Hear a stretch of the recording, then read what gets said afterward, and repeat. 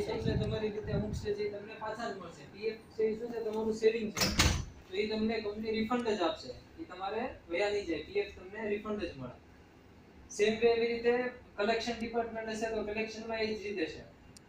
બરોબર? But કલેક્શનમાં incentive થોડુંક એની કરતા અપ તમે જઈ શકો. તમે 15 થી 20000 સુધી ઇન્સેન્ટિવ તમારું. કેમ કે શું હશે? તમે કંપનીનું જે ઇન્વેસ્ટમેન્ટ રોકેલું છે એ તમે પાછું લાવો છો.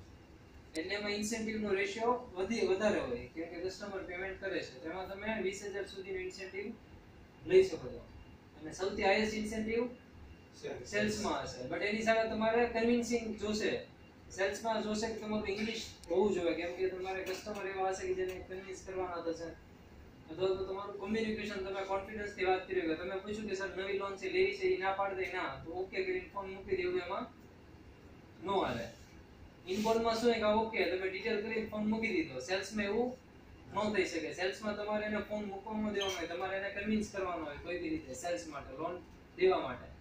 તો એમાં ઇન્સેન્ટિવ જે છે સ્ટુડન્ટને ચાલીસ હજાર સુધીનો આવે છે. સેલેરી તો ફિક્સ જ તે તો તમને આવે જ છે. સેલેરી તમારી આવવાની છે દર મહિને. દર મહિનાની સાત તારીખે સેલેરી તમારા એકાઉન્ટમાં જમા થશે. એટલે સિલેક્ટ થાવ તો આધાર કાર્ડ કમ્પલસરી છે પાન કાર્ડ કમ્પલસરી છે અને બેંક એકાઉન્ટ ફરજિયાત છે. ત્રણ વસ્તુ ફરજિયાત હોવી જોઈએ તમારી પાસે. તમારા અઢાર વર્ષ પૂરા હોવા જોઈએ. પ્લસ તમારામાંથી કોઈ લોન લીધેલી હશે, ભલે તમે નો લીધી અથવા તમારા નામે કોઈ લોન લીધેલી હશે ને તમારું જો સિવિલમાં નામ હશે તો સિલેક્ટ થયા છો તો બી તમારું જોઈનિંગ કેન્સલ થઈ જશે. આમાં ક્લિયર તમને? અહીંથી તમે સિલેક્ટ થાવ તો તમારી જે જવાની ટિકિટ હોય ને એ કંપની તમને આપે છે, બોમ્બે જવાની ટિકિટ બરોબર એ તમારે પોતે ન લેવાની હોય. તમને કીધું અહીંથી રહેવાની વ્યવસ્થા કંપની તમને ફ્રીમાં આપે છે મુંબઈ. આ જે પેલા સ્ટુડન્ટ ગયા હોય એ લોકો રહેતા હોય એનું. જે એકોમોડેશન હોય એની જે રહેવાની જગ્યા હોય, એનો ફોટો છે. શરૂઆતમાં તમે જશો તો પહેલા પંદર દિવસ ટ્રેનિંગમાં હશે. બરોબર? તો ટ્રેનિંગમાં તમારી સેલેરી શરૂ જ રહેશે. બટ ટ્રેનિંગ દરમિયાન તમને કંપની હોટલમાં એકોમોડેશન આપશે. ટ્રેનિંગ પછી તમને રૂમમાં તમને શિફ્ટ કરશે. જ્યારે તમારી ટ્રેનિંગ પૂરી થશે, એના પછી.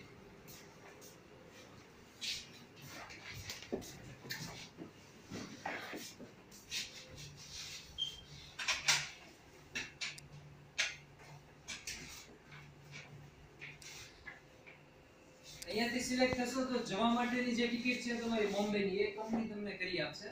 ત્યાંથી રિટર્ન આવવાની ટિકિટ કંપની નહીં આપે. ત્યાંથી તમે નીકળી ગયા જોબમાંથી કે કીધા ઉપર ભાગી ગયા, તો કંપનીની ટિકિટ નહીં આપે અહીંથી જવાની ટિકિટ આપશે. સેમ વે ત્યાં કંપનીએથી તમારો જે પોઈન્ટ હોય પિકઅપ પોઈન્ટ તો આવા જવા માટે ડેલી કંપનીએ સ્ટાફ બસ મૂકેલી છે. આ કંપનીની સ્ટાફ બસ છે.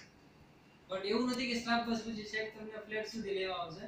એનો પિકઅપ પોઈન્ટ હોય. આપણે કેમ આખો એરિયા છે તો પિકઅપ પોઈન્ટ સિક્સ રોડ પડે છ રસ્તા તો એનો સેન્ટર એરિયા કહેવાય. પછી પાલડીમાં જાવ તો પાલડી ચાર રસ્તા સેન્ટર એરિયા છે. પછી પાલડી તમે અંદર રહેતા તો તમારે પાલડી સુધી વોકિંગ ડિસ્ટન્સથી આવવાનું રહે. ત્યાં કંપની સ્ટાફ બસ મૂકેલી હશે તમને લઈ જશે અને શિફ્ટના ટાઈમે તમને મૂકી જશે. ટોટલ તમારે 9 કલાકનું વર્કિંગ હશે ઓફિસની અંદર. 9 કલાકમાં 8 કલાક વર્કિંગ હશે ને 1 આવરનો બ્રેક હશે. બટ ડે શિફ્ટમાં વર્કિંગ હશે નાઇટ શિફ્ટમાં વર્કિંગ તમારે નહીં આવે.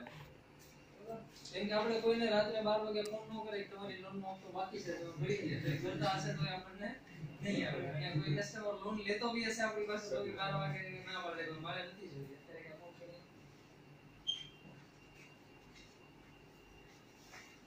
તમારે રહેવાનો કોઈ ખર્ચો નથી ટ્રાન્સપોર્ટનો કોઈ ખર્ચો નથી.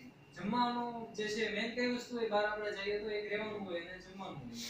જમવા માટે આ કંપનીની કેન્ટીન છે એનો ફોટો અહીંયા તમને આપેલો છે. બરોબર?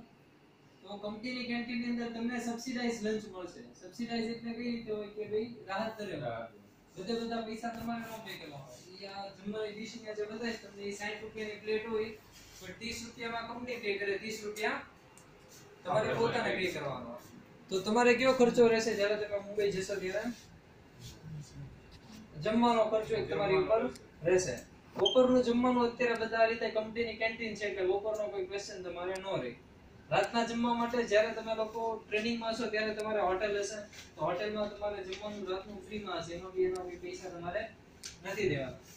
ત્યારબાદ તમને રૂમમાં શિફ્ટ કરે. પછી એવું છે કે જે જૂના સ્ટુડન્ટ છે એ લોકોએ ટિફિન સર્વિસ બંધાવેલી છે. કેમ કે ઓબ્વિયસ છે તમારે ત્યાં બે ચાર પાંચ વર્ષ તો નથી કાઢવાના. તે કિચન ને બધું તમે ઊભું કરો. એવું કરવું હોય તો તમારી ઉપર છે કે ગ્રુપમાં ભેગા બનાવી લે. અધરવાઇઝ ત્યાં તમારે ટિફિન સર્વિસ છે એ 30 થી 40 રૂપિયામાં અવેલેબલ છે સાંજની. તો એ તમે ત્યાં અવેલ કરાવી શકશો જ્યારે તમને હોટલમાંથી શિફ્ટ કરે, એના પછીની વાત છે. આજે જે કંપની કંપનીનો અત્યારે કોન્ફરન્સ રૂમ છે. તમને જે બિલ્ડિંગ બધે તેમાં તો તમારું ડોક્યુમેન્ટ વેરિફિકેશન અહીંયા થશે. તમારા જે ઓરિજિનલ ડોક્યુમેન્ટ્સ હશે, તમે જ્યારે સિલેક્ટ થશો ત્યારે સાથે લઈ જવાના થશે. ચેક કરીને ત્યાં ત્યાં તમને પાછા આપી દેશે. તમારામાંથી કોઈ લોન લીધેલી છે? એવું નથી આ કંપની પાસેથી તે બીજી કોઈ બી કંપની પાસે. મોબાઈલ પર ચાલે એટલે ઇન્સ્ટોલમેન્ટ એક મિસ થયેલો છે? ના ડેટ આગળ પાછળ થઈ હોય એવું થયું હોય? એ લોંગ ટાઈમ અગોડી હતી પણ અત્યારે બધું ક્લિયર છે. એના પછી બીજી બી ત્યાં જોબ બધા પૈસામાંથી બીજી લોન લીધી હતી ક્લિયર છે.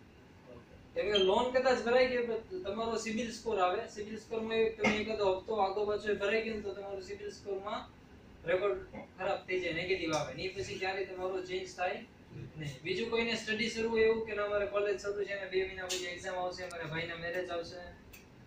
તો કંપની છ મહિના સુધી મોટી રજા નથી આપતી. તમે અહીંથી જશો તો છ મહિના સુધી તમારે કોઈ મોટી રજા નહીં આવે. મોટી રજા ઇન ધ સેન્સ કે તમે ક્યારે કીધું મારે આઠ દિવસ ઘરે જવું છે. સાત દિવસ જવું છે, દસ દિવસ જવું છે, એવી કોઈ રજા કંપની નહીં આપે. કેમ કે શરૂઆતનો ટાઈમ તમને ટ્રેન કરવામાં જ વયો જશે ત્યાં. પછી તો અહીંયા શિફ્ટિંગ કરીને તમે ડાયરેક્ટ વ્યવસ્થિત રીતે અમદાવાદમાં તમે વર્કિંગ કરી શકો. અત્યારે તમે જશો તો રોટેશનલ રજા હોય રોટેશનલ ઇન ધ અઠવાડિયામાં એક દિવસની રજા આવે બટ એ રોટેશનલ હોય. રોટેશનલ એટલે સન્ડે ફિક્સ ન હોય. તમારે સોમવાર તો તમારી સાથે જે જોબ કરતો એને મંગળવારે છે. એ રીતે બધાને વીકમાં અલગ અલગ દિવસે તમારે રજા છે એ પડતી રહેશે. હવે સેલ્સમાં હશો તો તમારી જે સેલેરી હશે એ સારી બાર રહેશે બાર હજાર પાંચસો રહેશે. બટ તમને એકદમ તમારું કમ્યુનિકેશન હોવું જોઈએ ઇંગ્લિશ ફાવવું જોઈએ, એમાં તમારું ઇંગ્લિશ ટેસ્ટ કરશે અને કઈ રીતે તમે કન્વિન્સિંગ કરી શકો છો એ વસ્તુ તમારી ચેક થશે. ઓન એન્ડ તમારે આવશે નવ હજાર પાંચસો એમાં બાકી ઇન્સેન્ટિવ આઈડિયા ક્લિયર થઈ ગયો તમારે? પહેલા મહિનામાં ઇન્સેન્ટિવ નહીં આવે. પહેલા મહિનામાં ઓનલી સેલેરી આવશે. કેમ કે પહેલા મહિનામાં પંદર દિવસ તો તમારે ટ્રેનિંગ બેઝ હશે. બીજા પંદર દિવસ તમે ફ્લોર ઉપર જશો તો કામ કરશો ત્યારે તમારી ઉપર એક ટીમ લીડર હશે ચેક કરવા માટે. કે તમે જે ટ્રેનિંગમાં શીખીને આવ્યા એ તમને આવડે છે કે નથી આવડતું? તો એ તમને સાથે સાથે ગાઈડ કરશે કે ગુરુ ટ્રેનિંગ હતી પ્રેક્ટિકલ કામ કરો છો તો રીતે તમારે ભૂલ પડે છે તો આ રીતે તમારે નથી કરવાનું. બીજા મહિનાથી તમારી સેલેરી પ્લસ ઇન્સેન્ટિવ તમારે શરૂ થઈ જશે. ક્લિયર બધાને? કોઈ ક્વેશ્ચન કોઈને? હજી કઈ માઇન્ડમાં કઈ ડાઉટ રહી જતો હોય કોઈ ક્વેશ્ચન રહી જતો હોય? બરાબર પાન કાર્ડ સર નવા જતા કરાય તમે સિલેક્ટ થશો તો પાન કાર્ડ માટે એપ્લાય કરીને કઢાવી લેવું ફરજિયાત